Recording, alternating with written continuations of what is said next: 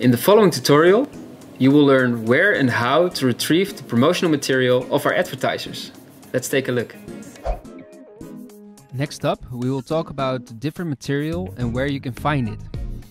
After being approved for a campaign, you can access all promotional material the advertiser made available for the publishers.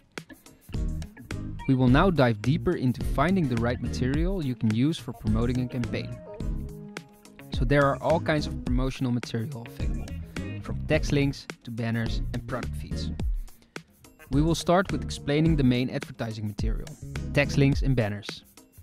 Click on material followed by clicking on advertisements. Search for the specific campaign that you would like to promote by using the search bar again. We'll go further on the example of Grover.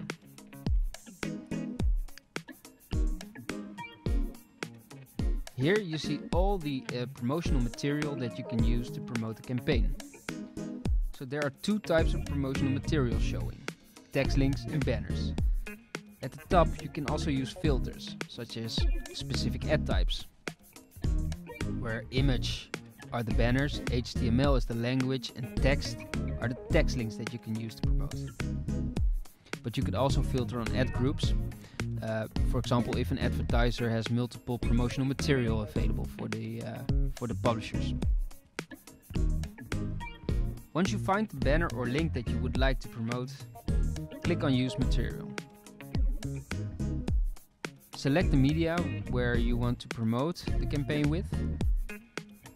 And now, you can also add a sub-ID. This is not mandatory, but it can help you in multiple ways. You can use the sub-ID for example to measure the performance of the same link placed on different positions on your media. Or you could use a different sub-ID for separate mailings.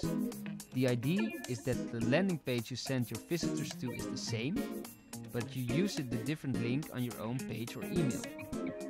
So for example, if you want to do a little bit of A-B testing.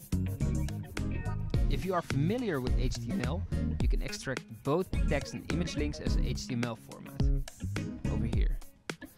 click on the URL, you can copy paste this into your website CMS.